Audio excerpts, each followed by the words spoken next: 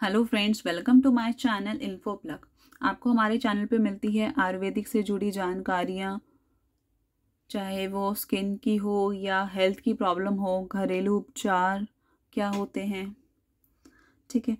तो मैं आपको बताऊँगी इस पतंजलि की दवाई के बारे में, जिसका नाम है दिव्य ईयर ग्रिट गोल्ड ये एक नया पैक मैं आपके लिए लेकर आई हूँ। इसमें मैं आपको बताऊँगी इसमें इसके क्या बेनिफिट्स हैं इसको यूज़ कैसे करना है इंग्रेडिएंट्स क्या होते हैं इसमें प्राइस एक्सपायरी डेट क्या है एक्सपायरी टाइम पीरियड ठीक है? तो सबसे पहले हम बात करेंगे इसके बेनिफिट्स के बारे में। इसको क्यों यूज़ किया जाता है? जैसा कि आप देख सकते हैं, यहाँ पे इस पैक में लिखा हुआ है इंडिकेशंस में यूज़फुल इन अंता कर्ण शोथ कम शूल ठीक है? इन दोनों चीज़ों में ये यूज़ किया जाता है अंता, कर्ण, शोत का मतलब है जो कान की सूजन है। उसको ठीक करने में ये दवाई मदद करता है। कर्ण, शूल मतलब कान का दर्द। कान में अगर दर्द हो, कैसा भी दर्द हो कान में, उसको ये ठीक करता है। कान की हड्डी गल गई हो अंदर, पस बनता हो या पर्दे में छेद हो गया हो उसके लिए भी ईयर ग्रिड गोल्ड बनाई गई है पतंजलि द्वारा, जो आपकी कान की हर समस्या को दूर करता है। ठीक है, अब मैं आपको बताती हूँ कि ये जो हमारी कान की प्रॉब्लम होती है, इसका रीज़न क्या होता है? इसका रीज़न होता है कि आपको सर्दी लग गई है बहुत टाइम से, लंबे टाइम से, गले की खराश है रेस्पिरेटरी इन्फेक्शन हो गया है। ठीक है तो इसमें एक इंग्रेडिएंट डाला गया है ऐसा, जिसका नाम है अब रक भस्म।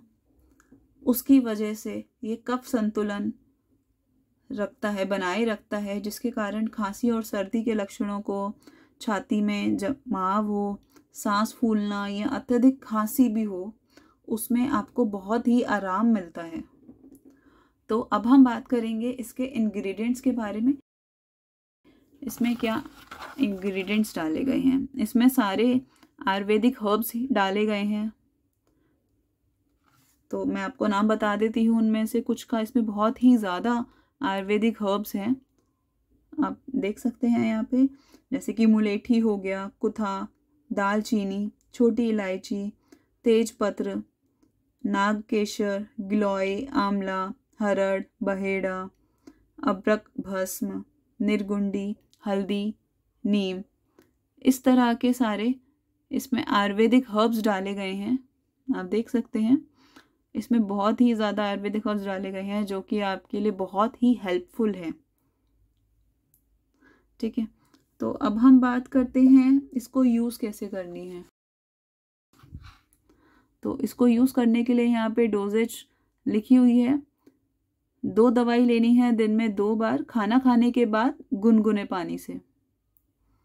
बाकी मैं आपको सलाह करूँगी कि आप जब इस दवाई को ख़रीदने जाएँ तो पतंजलि स्टोर से ख़रीदें ताकि आपको वहाँ पे आयुर्वेदिक चिकित्सक मिलते हैं तो आप उनसे सलाह मशवरा कर सकते हैं, अपनी प्रॉब्लम बता सकते हैं और पूछ सकते हैं कि इस दवाई को किस तरह से यूज़ करना है और क्या क्या आप चीज़ें कर सकते हैं और ताकि आपको इस दवाई से और भी लाभ मिले। नेक्स्ट हम बात करते हैं इसके प्राइस के बारे में।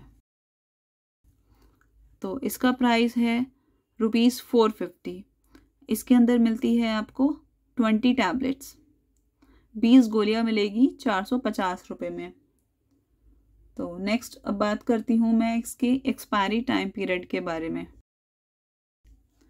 तो इसका मैन्युफैक्चरिंग डेट है 2023 और एक्सपायरी डेट है 2026 तो लगभग तीन साल की इसकी एक्सपायरी डेट दी गई है। तो ये कान के लिए स्पेशली बनाई गई है, कान की प्रॉब्लम्स के लिए, पतंजलि द्वारा टेस्टेड और वेरीफाइड मेडिसिन है ये, जिसमें बीस टैबलेट है, ये ईयर ग्रिट गोल्ड नया पैक है ये।